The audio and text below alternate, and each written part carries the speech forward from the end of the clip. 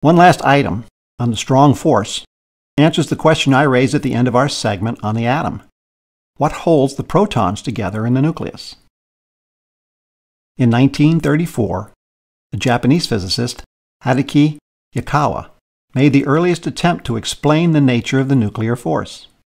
According to his theory, a particle was being shared between nucleons like molecules share electrons between atoms to bind them together. He even calculated the mass of this particle we now know as a pion.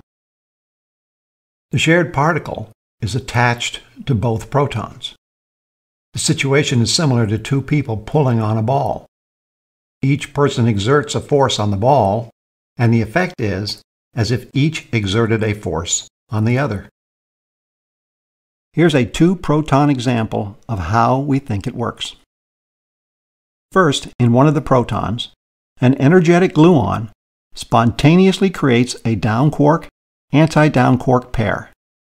Next, the pion drifts into the other proton, and the anti down quark annihilates a down quark, leaving the other down quark to take its place. The diameter of the proton is 1.662 femtometers. At a separation of less than a half a femtometer, the nuclear force is repulsive. This prevents nucleon collapse.